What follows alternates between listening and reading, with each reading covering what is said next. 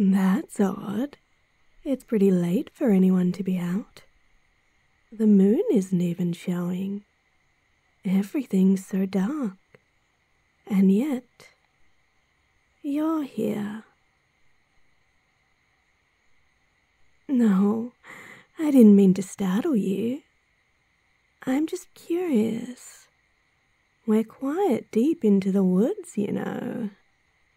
It's a bit weird for you to just be wandering.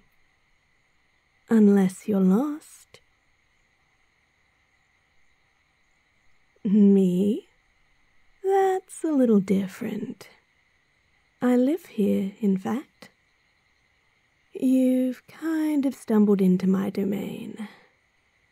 I guess you humans would call it my home. You probably didn't even notice when you passed the threshold. I don't think many humans would. Of course, I'm calling you a human. You look very human to me. Are you perhaps a spirit instead? Oh, I guess I didn't make it very obvious. Sorry. You can't even see me in this light. Here. that better? That's good. You see me then? That I'm not like you? A human. My ears, my tail, they're real. I promise. You look pretty stunned. Never seen a fox spirit before? Or is it the wisps? They do look beautiful at night. Firelight is so harsh, so difficult to maintain. Just give these little guys a few head scratches and they glow for hours. Mm, hey, are you alright? You've, um, you've just been standing there since I showed up. Ah, maybe you're not as familiar with my kind as I thought.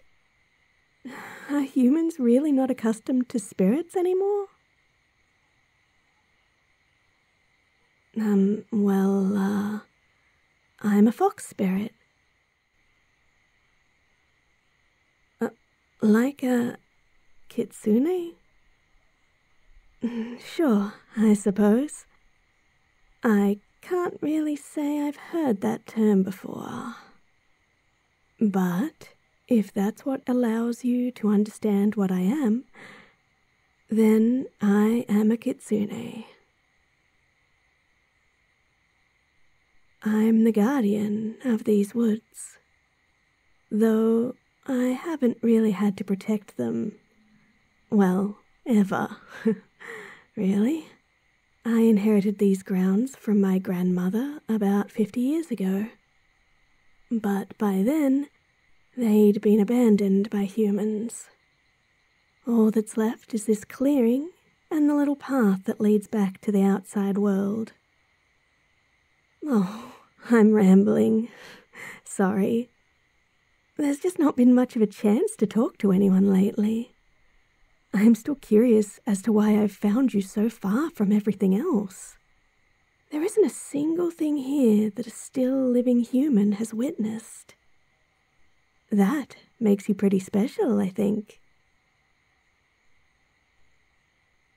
Insomnia. Mm, this isn't a word I've heard before. I'm sorry. Do you think you could elaborate a bit? Oh, it means you can't sleep. So you went for a walk. It's so late, though. The sun went down such a long time ago. I'm not too familiar with the latest human customs, but I was under the impression your kind was diurnal. Hmm, it's that bad, huh? Well, um, I know we just met, but Is it all right if I do what I can to help? Hmm, thank you. Come, sit with me. The grass shouldn't be too damp, though it is a little cool to the touch. May I touch you? All right. Lean your head against me. And at your own pace, not too quickly, close your eyes. You'll still see the light of the wisps through your eyelids, but they'll fade with time. Listen to my voice, okay?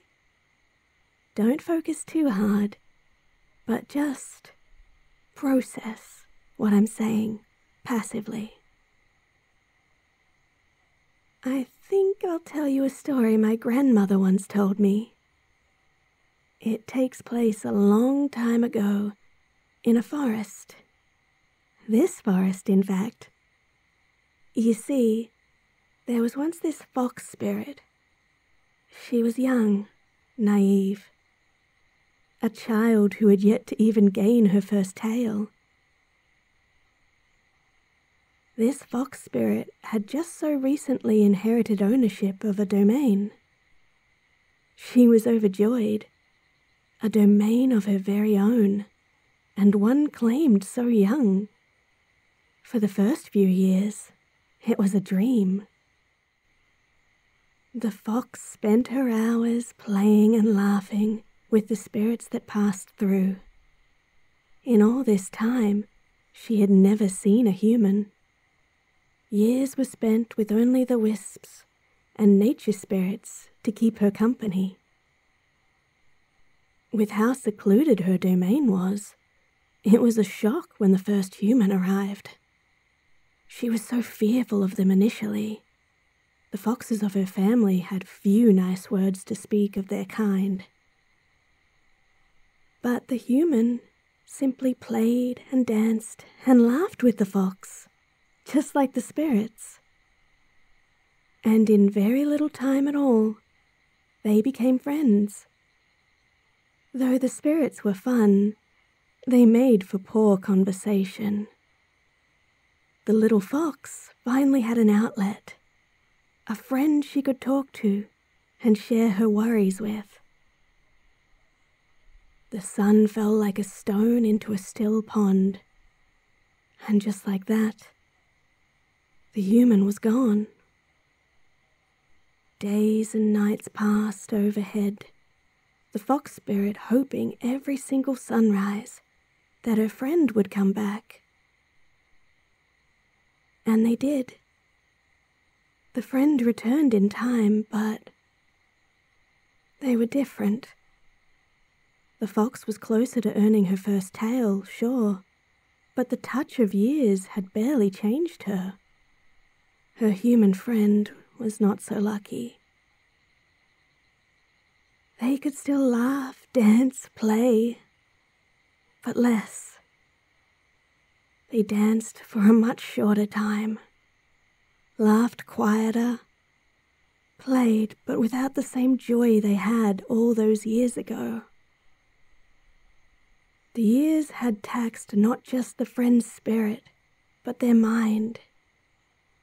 They acted so different to how the fox remembered, like an entirely new person. The fox was saddened at the change, but also that that she never got to see it happen. Never got to be there for her friend during those moments. That evening, the two tried to relive what they once had. That day that had nestled itself inside the fox's heart. But they couldn't. It was. It couldn't be done. So the human left. A goodbye was shared. A wish to see each other again. I wish that wouldn't come true. Sorry, I. I guess it's obvious, huh? I lied. My grandmother never told me that story. The fox is. It's me. That was thousands of days ago, though. I don't even know how many years. I even got my first tail. I wish they could see it. Ah, you've already fallen asleep. I didn't think it would be that fast. Since you can't really hear me anymore, I guess that means I can be a bit more honest. I know we didn't talk that much. I know you just came here to clear your mind. We never played or laughed or anything like that. But please, please come back soon. You're always welcome in my forest. Good night. Rest well.